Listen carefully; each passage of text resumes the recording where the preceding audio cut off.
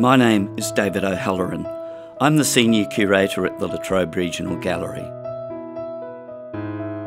Today, we are going to have a look at our exhibition Friendly Country, Friendly People Art from Papunya Tula.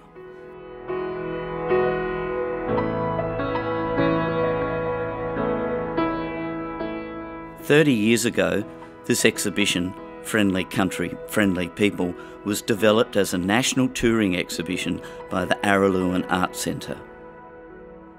Fortunately for us today, Cbus acquired the entire exhibition at the time for their collection.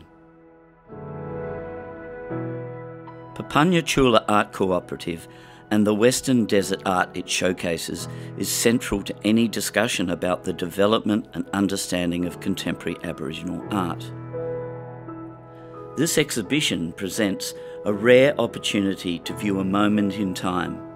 It provides a chance to reflect that Aboriginal art comes in many genres and from many voices.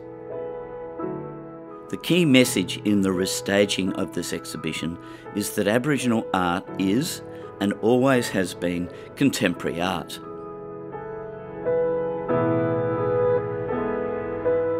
The famous honey ant dreaming painting on the wall of the schoolhouse Chula came from a collaboration of Indigenous men of different lands.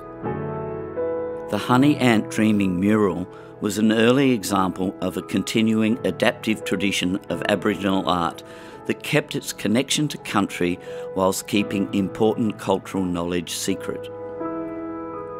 Jessica Clark, in her catalogue essay that accompanies this exhibition at Latrobe Regional Gallery, says that the Papunya Tula paintings signified a way back home for the artists. They signified a new way forward for Aboriginal artists across the country, for a way to survive and to keep culture alive.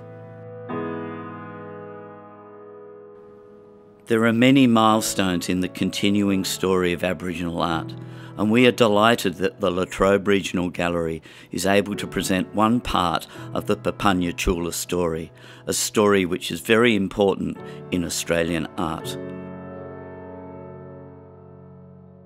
The artwork in this exhibition is stunning.